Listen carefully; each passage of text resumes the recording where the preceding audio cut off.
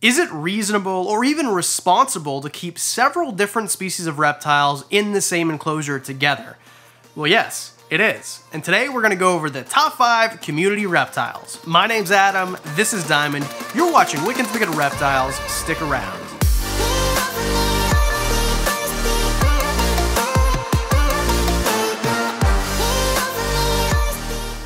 Would like to make something very clear because this is a very controversial subject and I'm sure the comments are going to be lit up. So here it is. Always do your research first. Me making this video is not enough information for you to put anything together that might not occur in nature or anything that is of a different species altogether. Before we get into the list, a few ground rules if you're gonna do this. Make sure whatever species you're gonna keep together are not going to eat each other, are of similar size to avoid predation most of the time, and come from similar environments. And as part of this list, I wanna go over some common ones and some less common ones, starting with number five, tortoises like this guy right here.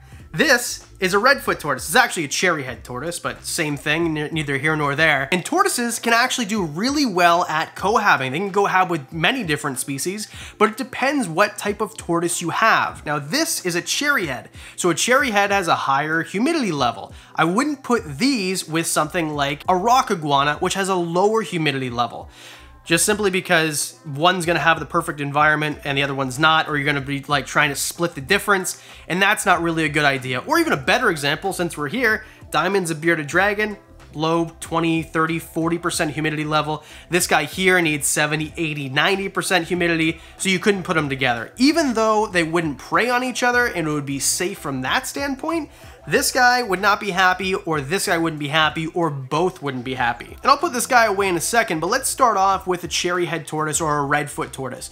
You could keep them with other similar tortoises, like a yellowfoot tortoise, for example, or if you wanted to, you could keep them with an arboreal type of snake that wouldn't eat them. Something like a boa constrictor, boa imperator, something like that, some arboreal type of snake that has a similar humidity level, and in fact, if you kept them with a boa, a BCI or a BI, I guess they're called now, or BCC or a BC, then that's actually perfect because a BC is likely not going to eat this guy. Oh, sorry. And these guys are going to be on the ground. A BC is going to be in the trees mostly, although they will be on the ground as well.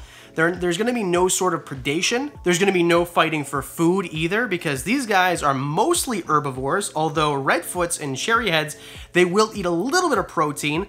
I'll put you back. You did really good though. Great job. Another great tortoise example, and I'll make this a lot shorter, is a Greek tortoise with something like a rhino iguana or a rock iguana. You see this on Camp Kenan's channel all the time. I'm sure you're aware of that channel. And that's actually a really great way to do it because they come from similar climates, although they would actually never experience each other in nature because they're not from the same part of the world. They have very similar climates. Just like the same reason that I can keep Bob, the jeweled lacerta, outside in Canada, even though you'd find him and say Spain and places like that, part of uh, Europe, where it's going to be warm and some sort of like subtropical type of climate. Well, that's what it is here in the Niagara region of Ontario, Canada during the summer. Very similar climates, and that's why it works. And the most obvious, you can keep similar tortoises. I, I mentioned that earlier. Another great example is leopard tortoises and sulcatas. Be careful because some sulcatas can be a little bit territorial, but the number one rule after you've done your preliminary research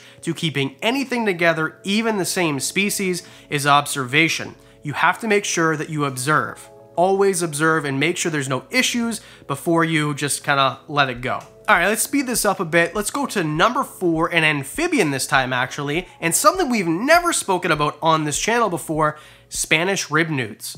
These are very wild looking, and the example I'm gonna use I actually see at my local reptile shop in a paludarium, and he's had them there for like four or five years.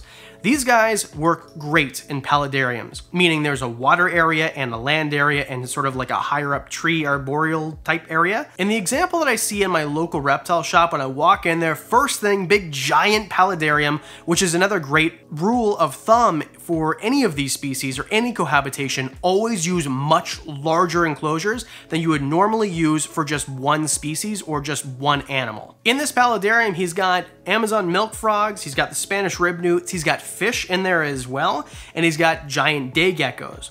And the reason this works is because although the Spanish rib newts do need a kind of cooler temperature in the water, the day geckos don't need such a hot temperature that on their basking spot where it is a perfect temperature, it doesn't radiate so much into the water that the water heats up too much in order to make it not livable for the Spanish rib newts.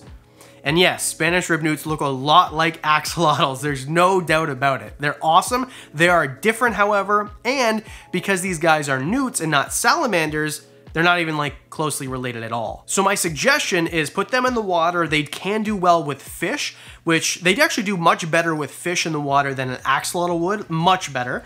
And if you have something that likes to live up in the trees were up uh, like on the glass, I guess, like say a day gecko, you could do that as long as that animal doesn't prey on newts. Like day geckos do not prey on newts. Amazon milk frogs do not prey on newts, and none of them prey on each other, so it works. Something cool about the Spanish rib newts they are called Spanish rib newts because they use their ribs for defense. They will literally poke their ribs out of their skin. It's like like a horror movie. Ah! That's ah! Don't! It's the craziest thing. And they're kind of use those as like these poisonous barbs.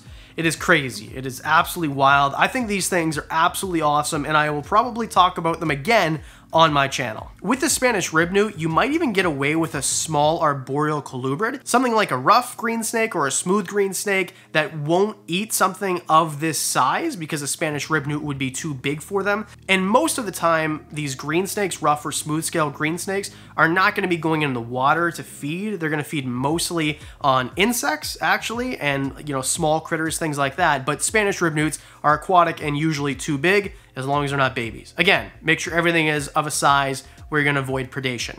Number three, turtles, aquatic turtles. And the reason that I say aquatic turtles because box turtles are not in this discussion. Let's focus on things like Mississippi map turtles and yellow belly sliders, things like that, because you can keep these together. Oftentimes, you can keep placid type species, painted turtles, red ear sliders, whatever, together, and oftentimes these guys will see each other in nature, so it just works. Similar diet, similar water parameters, similar water temperature, things like that, right? So it makes it really easy, but you can also keep things like fish together. Now, I wouldn't recommend Spanish rib newts most of the time because I know for sure Buggy, my yellow belly slider, would eat them. He tries to eat the fish, but the fish are too fast. So that's the thing is you want to make sure that your fish are fast enough in order to put them with turtles. If you want me to do a whole video on best fish to keep with turtles, I would love to. I love keeping fish in my turtle tank. It's just so much fun to watch because you get these larger type species you can watch and you have these smaller, faster species to watch as well. I personally think this is fascinating. Oftentimes with certain species of turtles, you can also keep different types of shrimp, and sometimes you can also keep things like snails in there as well. It just depends. Again, I will say it over and over, do your research. The Mr. Clean looking guy behind the camera is not enough information telling you this can go with this. It can go, but doesn't mean that it should necessarily, and there's always way more risk cohabiting anything, even the same species, than keeping animals alone. All right, number two, we're gonna ruin the list with a second amphibian, the last one, I promise, tree frogs of many different species. Now, bigger tree frogs something like a White's tree frog usually isn't a great option just because they're big and they will put anything in their mouth that can fit in their mouth. So this is a bad idea. The better options would be things like red-eye tree frogs or even Vietnamese mossy frogs. You could have something kind of cool like an Amazon milk frog or an American green tree frog, a lemur tree frogs, tiger leg monkey frog, like you get the idea, right? There are many, many different types of tree frogs that you can keep not only together with other tree frogs, do your research what goes with what and do your observation, but you can also keep them with things like house geckos or longtail lizards, or you can keep them in paludariums where down below you've got fish, things like that. This is overall a pretty darn common one, and it actually leads into number one, something that you see almost always in a community tank. Number one, anoles, especially green anoles because they're bright, they're beautiful, they're very fun to watch, and they're very fast, which is why it works. And you're gonna keep them oftentimes with other species like green tree frogs, or basically other types of tree frogs that won't eat them or won't be eaten by them, or house geckos or longtail lizards, things like that that actually work really, really well. I've even seen people keep green anoles with things like tortoises, cherry heads, which is kind of risky because a cherry head might eat one if it could catch it, which it probably won't. I've seen people keep them with boas, right? Which, because very similar type of environment. I'm not advocating this, I'm just saying that I've seen it, but for sure, you can see time and time again a successful cohabitation with things like house geckos and long-tailed lizards and tree frogs and things like that planted vivariums, lots of space to climb, big enclosures so that there's not, you know, kind of like a territory dispute or they're so on top of each other they're stressed out. I think it can work really, really well with green anoles.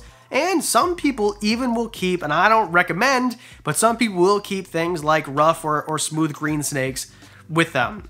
I think that it, there's too much of a risk there of being eaten, but some people do it, and green anoles are fast enough usually to evade them, and most green snakes won't try to eat an anole, but it can happen. Just be aware of that. Okay, before we wrap this up, free stuff. If you like free stuff, we are drawing for 10, this is five, 10 free shirts at 100,000 subscribers, which we're getting really close to. All you have to do to enter, very simple, no purchase required. Go like the Instagram page, hit thumbs up on this video, and leave a comment with this emoji, and you have to be subscribed. That's it. A few clicks of your mouse, don't have to spend any money, and at 100K live on a live stream, 10 free shirts, doesn't matter where you are in the world, whatever t-shirt you want, I'll make sure it gets to you if you win. So there you go. Those are your top five communal reptiles or community reptiles or whatever we called it. I hope that you enjoyed it. And there are more. So if you want a part two, let me know in the comment section below. I would love to make it. Or if you think I did something wrong in this video, something that doesn't fit, something that's a better fit, let me know. I would love to know and maybe make a second video. So I want to say thank you so much to the Patreon supporters. You guys are freaking awesome. Without you guys, this would be a lot harder and it wouldn't be as much fun to get new animals because I let you guys know about animals in my collection that I don't let anybody know about for months sometime. So thank you guys very much. And for everyone who took the time to hit like, hit subscribe. This is a like also. Hit subscribe. You guys are awesome also. And because I do videos twice a week, that means that I'll see you on Thursday.